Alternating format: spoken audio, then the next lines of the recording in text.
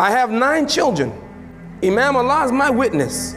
If my children become doctors, I'll be very happy. Or scientists, I would be very happy. But I don't want them to become doctors and scientists and lose their deen. I'd rather them to sweep the streets of New York City and die as a Muslim than to become doctor and then die as a disbeliever. I swear by Allah. You want to make me happy as the father? Be a Muslim. Just be a Muslim. Wake up every day. Thank Allah for giving you life, every breath that you have. Thank Allah for that.